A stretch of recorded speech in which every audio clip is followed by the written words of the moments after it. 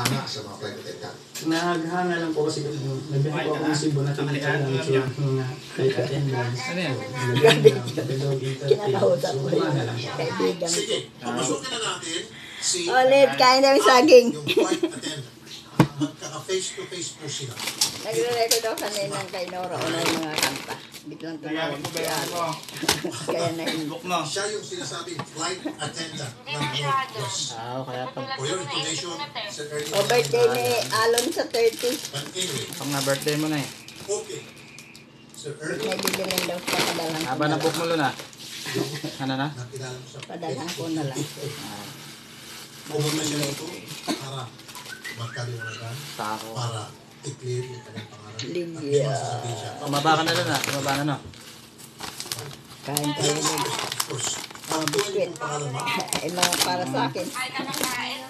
Kain ka lang kaya pa. Tumaba ka. Ito, sitseria ni, ano, ni Mabel.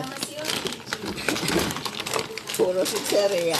Kagaya mo, puro sitseria. Yes, Okay. Now, Lon, ano kinakain mo, Lon? Yung nasa picture. Sitseria din. Yung, Ay, chisi. that's your mother. Marianda, Marianda. Merienda mo yan? Chisi ang merienda mo? Ako saging. Saging ang kinakain ko. Wala na akong pagkain. Sila Tita Sing, nagagawa ng turon. Dinyan, Turon? ka, nung uh, nakilala siya ni Sir Ernie Tagle sa.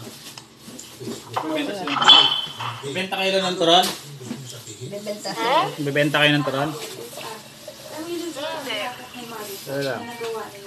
Kung gulay para sa akin. Ah, yung sa mga na, nakikinig ko ay sa nanonood.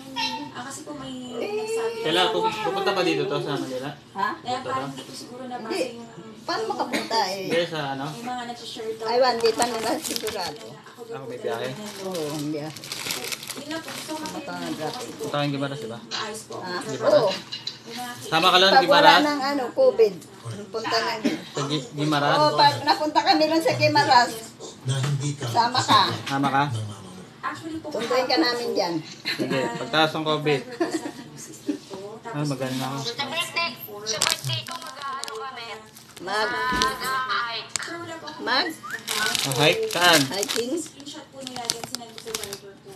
May ano, mag-overnight kami para siyang maganda yung view niya, Sobrang bundok. Ah. Ingat ka dyan sa gilid ha.